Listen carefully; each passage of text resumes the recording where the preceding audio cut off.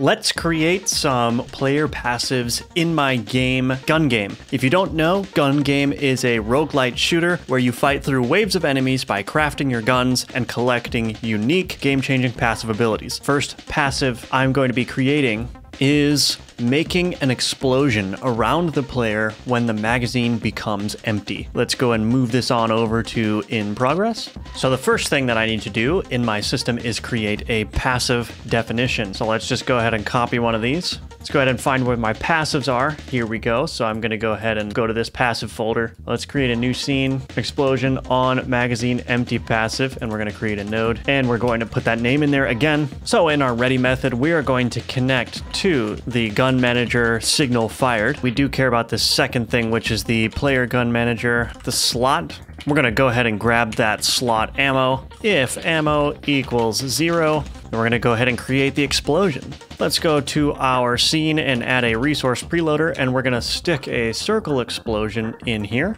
Now, when our ammo is zero, what we need to do is we need to create the circle explosion. So we'll say var explosion is equal to resource preloader. And I'm just going to go ahead and peek at my dash clear bullets passive. And why don't we just go ahead and copy this? All right, we're to create the explosion at the player center position. Now, here comes the tricky part. We need to give this explosion some kind of damage.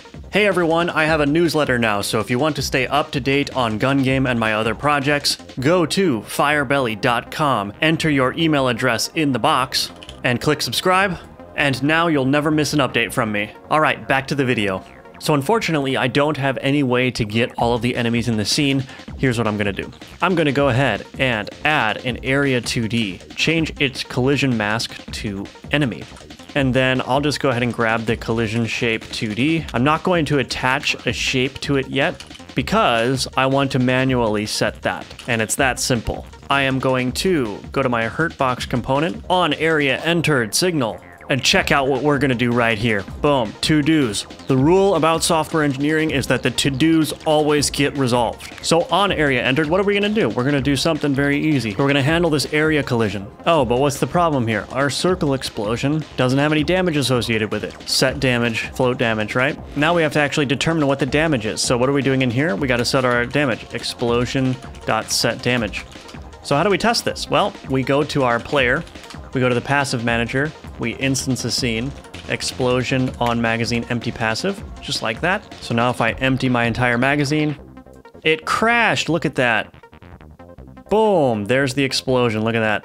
I got it. Okay, so we can see that circle right there is very tiny.